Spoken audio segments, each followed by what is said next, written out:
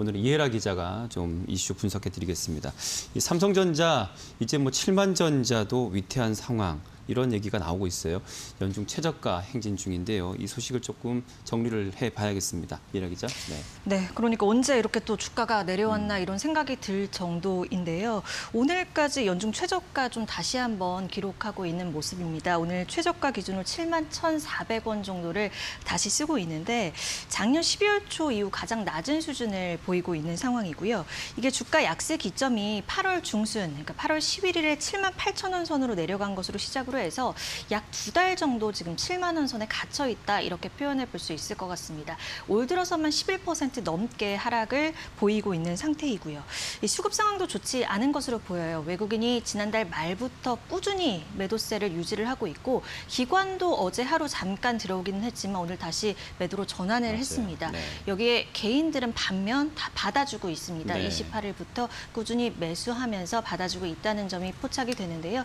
그렇다 보니 삼성전자 가지고 계신 개인 투자자분들 너무 많잖아요. 음. 아마 우려가 굉장히 깊어지는 상황이다 이렇게 판단해 볼 수 있을 것 같습니다. 네. 뭐 또 전문가들 얘기 그런 얘기 하죠. 글로벌 반도체 기업들에 비해서 삼성전자 뭐 펄을 비롯해서 보면 아직 좀 가치가 굉장히 좀 낮게 평가돼 있다고 하는데 어쨌든 지금 상황은 이렇게 흘러가고 있습니다. 뭐 그리고 삼성 폴더블폰도 흥행 좀 뜨거웠고요. 네. 이제 3분기 실적 전망도 뭐 지금 역대급 얘기도 나오고 있는데 이런 상황 참 난감하네요. 네. 그러니까요. 주가 분위기랑 실적 음. 전망에 대해서 좀 엇갈리고 있는 네, 상황이어서 좀 혼란스럽게 느끼시는 분들이 많으실 것 같은데요. 어, 앵커가 언급을 한 대로 이 3분기 실적치 전망에 대한 그런 긍정적인 분위기는 형성이 되고 있습니다. 이번 3분기 아, 오는 8일에 이 실적 전망이 잠정 실적치가 나올 것으로 예상이 되는데요. 다시 역대 최대 매출을 쓸 수도 있다는 전망이 벌써 나오고 있거든요. 그러니까 그런 예상을 바탕으로 증권사들도 최근 이 삼성전자의 3분기 실적 전망치를 올려잡는 분위기인데 하나금융투자는 영업이익을 보름 만에 4.5% 상향을 했고요. 현대차증권도 약 두 달 만에 5.2% 올려잡았습니다. KB증권과 유한타증권 등도 어, 영업이익 16조 원대 기록할 수 있다고 전망을 했는데요. 지금 보시는 것과 같이 어, 이들이 내놓은 그런 삼성전자의 실적 전망치 평균을 정리를 해본 수치인데 연결 기준 매출액이 73조 8,577억 원 그리고 영업이익은 15조 8,607억 원을 기록할 것이라고 전망을 했습니다. 이것이 전년 동기 대비 각각 10% 그리고 20% 가량 증가할 것으로 예상이 되는 수치인데요. 4분기도 역시나 실적 전망 나쁘지 않게 전망이 되고 있습니다. 일단 영업이익 consensus가 15조 7,627억 원 정도로 전망이 되고 있는 상황이어서 작년 같은 기간 대비 한 74%늘 것이다라고 예상이 추정이 되고 있는 상황인데요. 이제 궁금해지는 건 그럼 실적과 주가가 이렇게 엇박자가 나는 이유일 것입니다. 네. 이런 실적 전망에 대해서 긍정적으로 평가는 되고 있지만 아직까지 반도체 업황에 대한 그런 우려가 아, 지금 잠식이 되지 않았다라는 부분인 거죠. 그 근거를 볼 수 있는 것이 이 4분기 디램 값에 대한 전망이 이제 속속들이 나오고 있는데 3%에서 8% 정도 4분기에 좀 떨어질 수 있다라는 전망이 나오고 있습니다. 이 수요보다 공급이 풍부한 상황이 연출이 된다는 건데요. 현재 디램 수요 업체들의 재고가 충분해서 이런 상황에서 어, 조금 영향을 받을 수 있다라는 부분인 거고요. 여기에 삼성전자의 경쟁사라고 볼 수 있는 메모리 반도체 3위 미국 마이크론사가 있죠. 앞으로의 실적에 대한 전망을 어, 회사 측에서 내놨는데 어, 시장 예상보다 낮을 것이다 이렇게 발표를 했습니다. 그리고 완만한 수요 하락에 직면할 수 있다라는 예상을 내놓기도 한 점도 영향을 준 것으로 풀이가 됩니다. 또 완제품 생산 차질에 대한 문제도 다시금 언급이 되고 있는데 이 비메모리 반도체 공급 부족에 따라서 이 세트 제품이라고 하죠. 완제품 생산 차질 문제가 지속적으로 언급이 되고 있어서 뭐 잘 팔았던 스마트폰 출하량 감소도 예상이 되는 부분이고 이 부분이 주가 하락의 요소로 작용할 수 있다는 점을 언급해 볼 수 있을 것 같습니다. 네. 어, 현재 주가 상황을 좀 뭐 둔화시키는 또 악재 중 하나라고도 볼 수 있겠네요. 노사 임금 협상 관련한 건데 이 노조 측의 요구 사항을 수용했을 때 순이익이 6조가 줄어든다라는 분석이 있군요.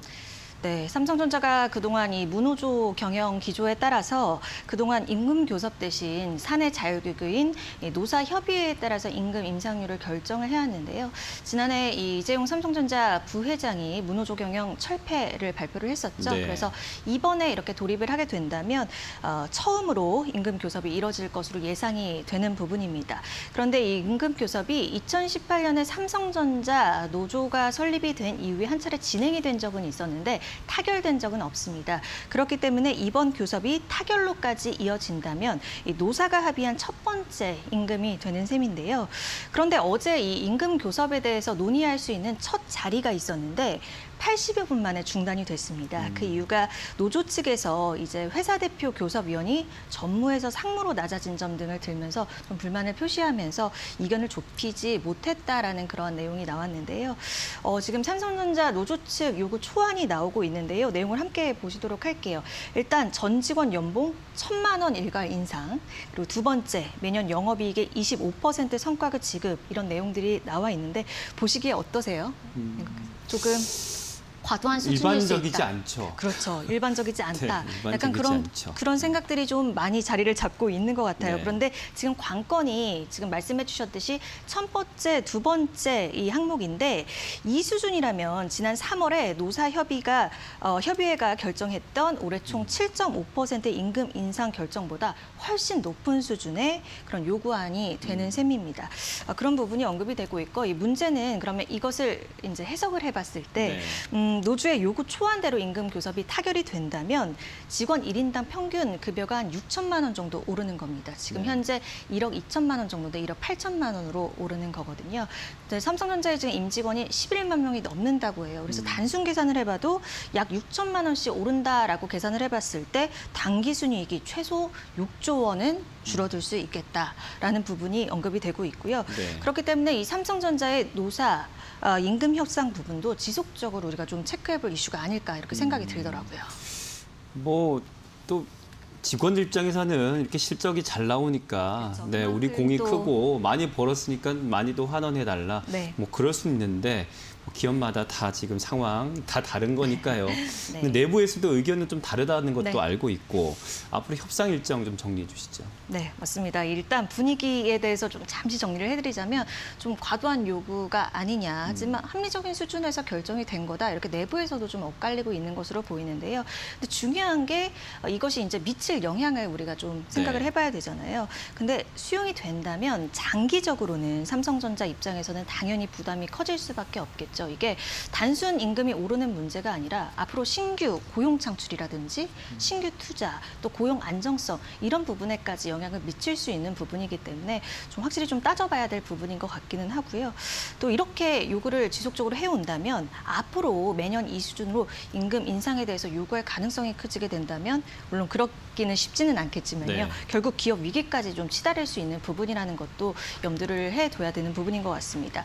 일단 지금 어, 타결이 되지 않은 상태에서 본격적인 논의가 다음 주부터 이뤄질 것으로 예상이 되고 있고요. 어, 추후 그런 날짜에 대해서는 공지될 예정이라고 삼성전자 측에서 밝혔습니다. 네. 이런 뭐 분위기지만 지금 글로벌 반도체 그 시장 안에서의 그 경쟁은 정말 전쟁을 반복해 하고 있습니다.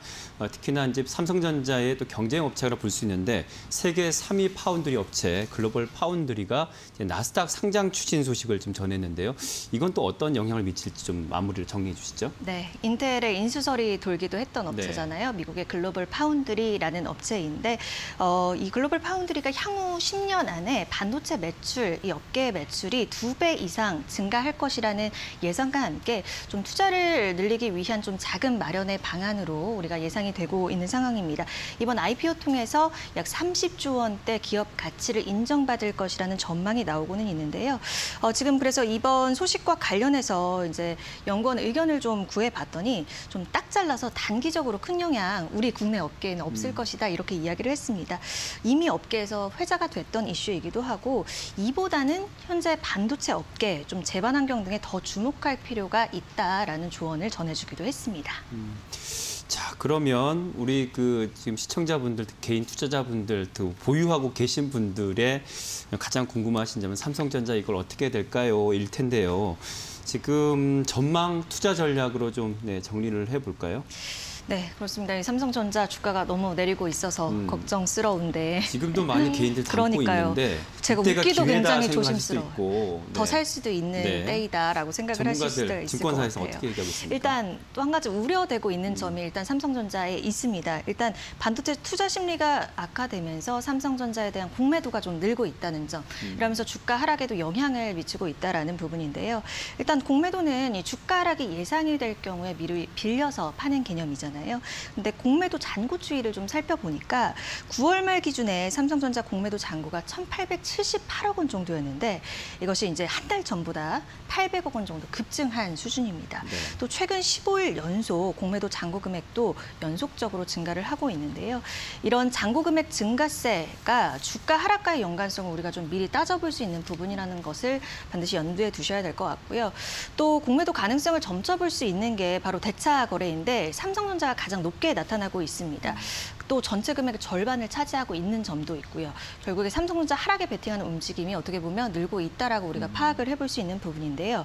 다만 증권 업계에서는 여전히 buy and hold 좀 사고 유지하자라는 분위기였습니다. 네. 대표적으로 KTB 투자증권에서 이 삼성전자의 주가 조정세가 우려를 이미 상당 부분 반영을 했다라고 분석을 했습니다. 어, 그래서 11월, 12월 이후에 연말께부터 주가 반등을 기대해 볼 수 있다라는 목소리도 있었다는 점 참고해 보시면 좋을 것 같고요. 아, 그러면 22개 증권사가 제시했던 삼성전자 목표 주가 평균치는 99,190원 정도였으니까요. 이 부분 참고해 보시면 좋을 것 같습니다. 네. 자, 오늘 뉴스 이슈 이혜래 기자와 함께했습니다. 오늘 말씀 고맙습니다. 고맙습니다.